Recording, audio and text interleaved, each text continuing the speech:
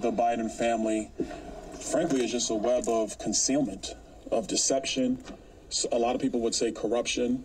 But let's be very clear you have this many companies involved, th- this velocity of transactions, size of transactions. Like my colleagues have said, this is not how normal businesses operate.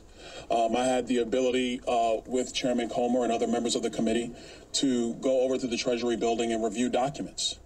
And having read those documents, one thing is became pretty crystal clear that there were many people who had serious questions about the transactions and about the velocity of these transactions.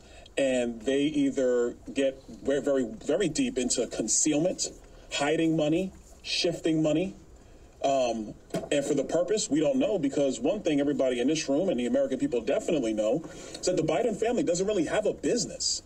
There is no business structure around this family except politics. And since Joe Biden has spent decades in the Senate, served eight years as vice president, and is now president of the United States, and the family's getting money from various countries and foreign businesses through various shell companies and this web of LLCs. I mean, guys, you in the press, this is easy pickings. I'm giving you Pulitzer stuff here. Like all you have to do is literally look at our memo and see the level of detail upon which they have created this.